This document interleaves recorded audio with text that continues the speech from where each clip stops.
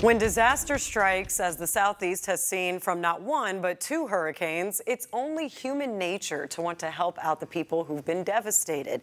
And thankfully, there are several options available to do just that, with so many in need across Tennessee and elsewhere. Now in Memphis, Immanuel Lutheran Church has been hosting a donation drive this week for, for victims of Hurricane Helene.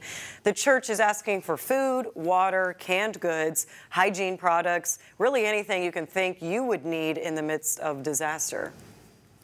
So each and every one of us is to show love, be kind, and give to others when you can. So this is just an opportunity to reach out. By the way, many people in the trenches say they often get overwhelmed with everyone's generosity. They suggest donating money to online organizations like the American Red Cross or Salvation Army. Big nonprofits like that have lots of practice with this kind of thing, with organizers at each disaster site to make sure your money is well spent.